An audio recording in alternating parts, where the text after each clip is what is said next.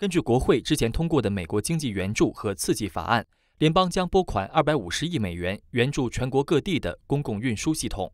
其中，纽约大都会运输署 （MTA） 获得了三十九亿美元，但 MTA 表示还需要更多援助。Here in New York at the MTA, we're calling on Congress to provide additional funding to the MTA of 3.9 billion dollars. 根据第三方机构的估算，大都会运输署在二零二零年的收入损失会高达八十五亿美元。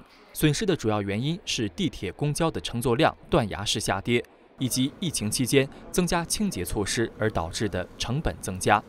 另外，这次疫情也给大都会运输署造成了惨痛的人员损失。New York City, New York State, the epicenter of the pandemic, more than a hundred heroes at the MTA have tragically lost their lives. 周二与会的各地公共运输机构也都不同程度地呼吁联邦给予更多帮助。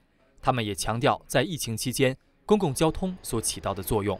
and our brothers and sisters in labor are the heroes moving the other heroes of this crisis, ensuring that other essential workers and first responders, such as doctors, nurses, pharmacists, grocers, food delivery workers, utility workers, and transit workers can do their jobs and save lives. 大都会运输署称，如果经济损失不能得到更多的补偿，那么纽约市公交的票价、服务班次还有服务改善计划都可能会受到影响。新唐人记者金石奥利弗纽约报道。